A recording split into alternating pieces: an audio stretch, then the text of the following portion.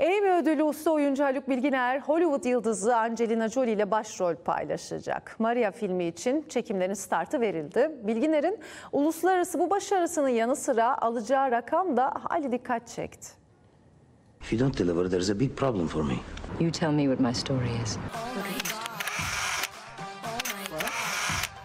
Filmden ilk kareler geldi. Angelina Jolie güzelliğiyle yine büyüledi. Ama gözler başrolü paylaştığı Haluk Bilginer'de. Haluk Bilginer.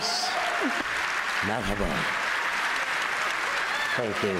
Emmy ödüllü usta oyuncu Haluk Bilginer, Maria filminde Hollywood yıldızı Angelina Jolie ile kamera karşısına geçti.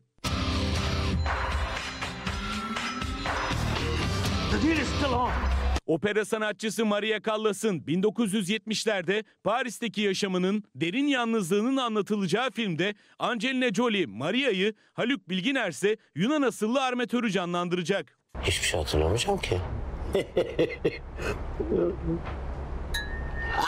Çekimlerinin 8 hafta süreceği filmde Haluk Bilginer'in 800 bin dolar yani 22 milyon lira alacağı öne sürüldü. Too demanding.